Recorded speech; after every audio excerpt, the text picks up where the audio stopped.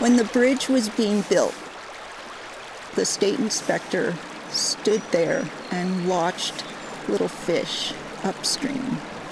And they go under the bridge, and as soon as they hit the plume of AMD, they immediately turned around and went back upstream.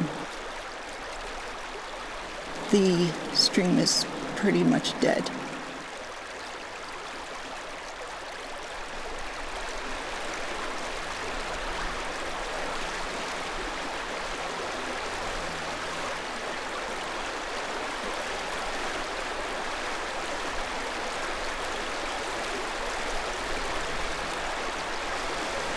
Well, mining in Deckers Creek started out back in the um, late 19th century. Um, mining uh, largely in the Freeport seam uh, liberated uh, what we call pyrite, uh, the mineral pyrite. And when pyrite is exposed to air and water, uh, you get sulfuric acid and iron.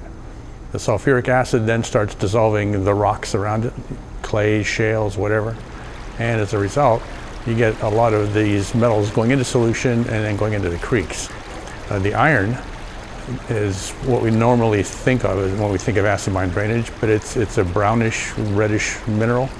Uh, and because it oxidizes and forms what we call ferrihydrite or pretty much like rust. That's the, uh, the reddish color that you see in the streams, but there are lots of other metals involved as well. So right now, you look at it and course, it's low gradient, low oxidation water and orange with a lot of sediment in there. If you could imagine a pristine watershed, you're going to see a huge variety of vegetation, you're going to see a huge variety of animals, and just all that stuff compounds on top of it.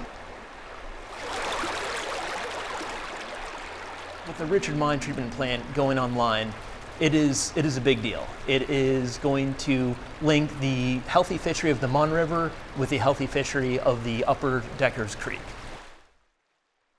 The purpose of this is to take the untreated mine water, raise the pH, remove the metals.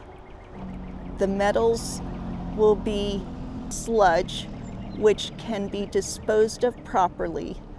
The water will have uh, a higher pH to, that aquatic life can live in.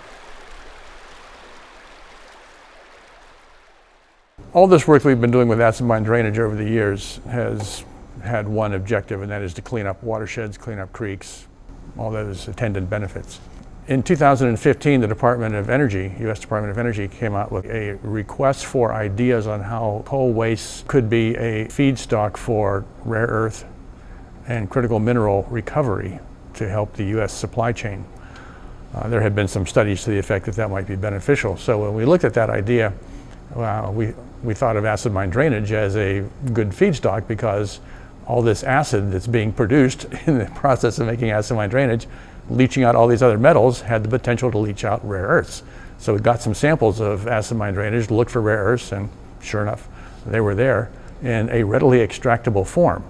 So in a sense, uh, you have nature doing the hard work of, of putting those rare earths into solution. So clean water, in a sense, is our main byproduct in recovering rare earths from acid mine drainage. Being so close to WVU is such a asset because of the research that, that goes on and Friends of Deckers Creek works closely with uh, Paul's uh, Water Research Institute. When you're on the rail trail you should see the same pretty stream from Preston County down to Morgantown. And that can only help with tourism and recreation. A lot of work over the last 20 years uh, by the Friends of Deckers Creek, West Virginia DEP, uh, other agencies and, and organizations have helped clean up that middle part of Deckers Creek. So the last big insult on the way down to the Mon River is the Richard Mine.